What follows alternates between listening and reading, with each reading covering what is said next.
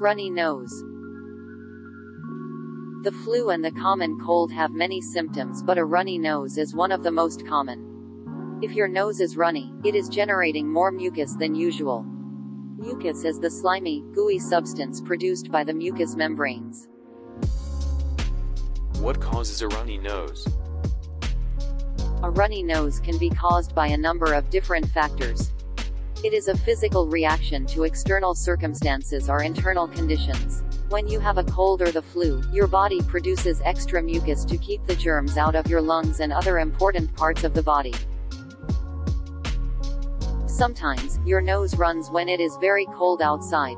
This is because your nose is trying to warm the cold air before it enters the lungs. The extra work your nose is doing results in rapid mucus production and causes your nose to run. Your nose also runs when you cry because your tear glands and your nose are connected.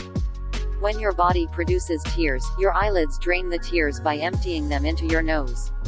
The tears mix with mucus and make your nose run. People with allergies may experience a runny nose when they are around allergens, things to which they are sensitive. Typical allergens include pollen, dust, mold, and flakes of skin from animals. How can you stop your nose running? Most people blow their runny nose with a tissue. The correct way to do this involves pressing a finger over one nostril while gently blowing the other. Besides using a soft tissue, you should moisturize the area under the nose with lotion to prevent your skin being irritated by frequent blowing. Drinking a lot of water helps your body deal with extra mucus more quickly as it makes it more fluid.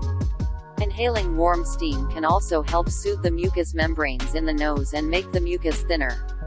If your runny nose is causing serious problems, you can consider using a saline nasal spray or a neti pot, which breaks down thick mucus and makes it easier to remove. A runny nose does not usually require treatment and it should go away on its own within a few days. However, if your runny nose is caused by allergy, it is best to consult a doctor.